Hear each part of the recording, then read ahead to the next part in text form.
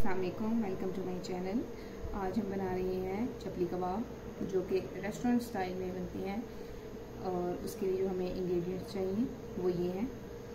सबसे पहले हमारे पास है, हमने दो अदद मीडियम प्याज ले लिए, जिनको हमने अच्छी तरह चॉप किया है, और उनके पानी को अच्छी तरह उनको धो के पानी को अच्छी तरह निचोड़ लिया है उसमें से। एक कप हमने आटा लिया है। आटा जो गंदम का आटा घर में इस्तेमाल होता है, वो आटा है। उसके बाद चार अदद हमने हरी मिर्च ली है, उनको अच्छे से चॉप कर लिया है। चार अदद हमने लिया है सुरख मिर्च, उनको भी चॉप कर लिया है। दो चम्मच हमने नारदाना लिया है, जिसको अच्छी तरह से ग्राइंड कर लिया है, और एक चम्मच अजवाइन ले लिया है। उसके बाद हमने दो मीडियम टमाटर ले लिए हैं, उनको अच्छी तरह से चॉप करके उनके बीज निकाल के उनके पानी को अच्छी तरह निचोड़ लिया है, और एक अदद हमने अंडा ले लिया है। उसके बाद बाकी जो मसाला जाते हैं, उसमें हमारे पास एक चम्मच नमक लिया हमने, एक चम्मच सुरख मिर्च एक चम्मच हमने गरम मसाला, एक चम्मच दालचीनी पाउडर, एक चम्मच काली मिर्च और दो चम्मच हमने सूखा धनिया ले लिया एक किलो हमने कीमा ले लिया, जिसको हमने अच्छी तरह से धोया है पहले और फिर उसको अच्छी तरह से ड्राई कर लिया है। मल मल के कपड़े में निचोड़ के उसका सारा पानी निकाल लिया है और ये बहुत अच्छी तरह से हमारे पास ड्राई फॉर्म में कीमा आ गया है। अब हम इसमें अपने इंग्रेडिएंट्स शामिल करेंगे। सबसे पहले हम इसमें प्याज शामिल करेंगे।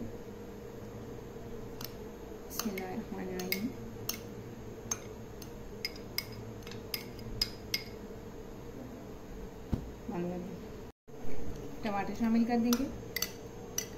सारे इंग्रेडिएंट्स को पहले हम ऐड कर लेंगे और फिर उसके बाद हम इनको अच्छी तरह से मिक्स कर लेंगे। अब हम सुरख मिर्च शामिल करेंगे, जो उसको हमने चॉप किया हुआ है। सब्ज मिर्च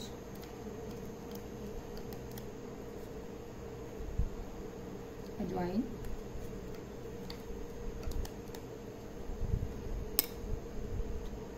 अनारदाना अब उसके बाद हम सारे अपने मसाला जार ऐड कर लेंगे इसमें। सुरख मिर्च।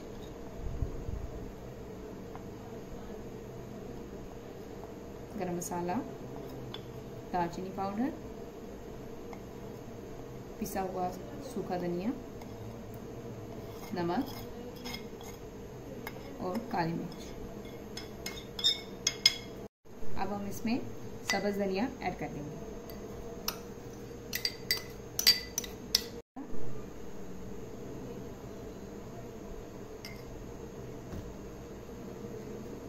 और एक चम्मच हमने पहले आटे का ऐड करना है।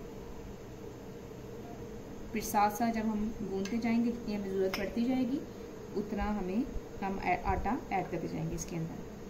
अब हम इसको गूंदना स्टार्ट करेंगे। आप अच्छी तरह से मसालों को मिक्स कर लेंगे हम। तो हमारा कीमा है, वो खुला खुला ना आपस में जुड़ जाए सारी चीज़ें। आटे के साथ साथ ज़रूरत पड़ती जाएगी तो हम उसको ऐड करते जाएँगे।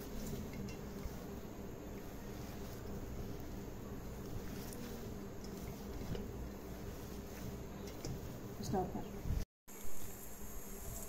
एक चम्मच आटा और ऐड कर लेंगे हम इसमें। ये ज़रूरत के मुताबिक इस्तेमाल डालना है इसको आटे को।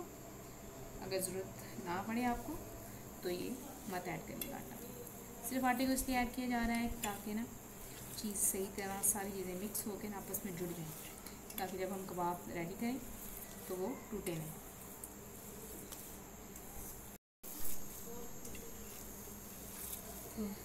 अच्छा कदम का आटा हर घर में मौजूद होता है। इसलिए हम वो ऐड कर रहे हैं। और ये बड़ी अच्छी से ना चीज़ों को जोड़ देता है आपस में। जब हम चप्पल कबाब तैयार करते हैं, इनको आई में डालते हैं तो ना वो टूटते हैं। और बड़े ही ज़बरदस्त तैयार हो जाते हैं। लोग मोमन जो है वो बेसन का इस्तेमाल किया जाता है, लेकिन ये जो आटा है, गंदम का, इससे भी आसानी तैयार हो जाती है। अच्छी तरह से इसको गूंद लेना है। रेशे ना रह जाए इसकी ये आपस में से जुड़ जाए। हो गया अच्छी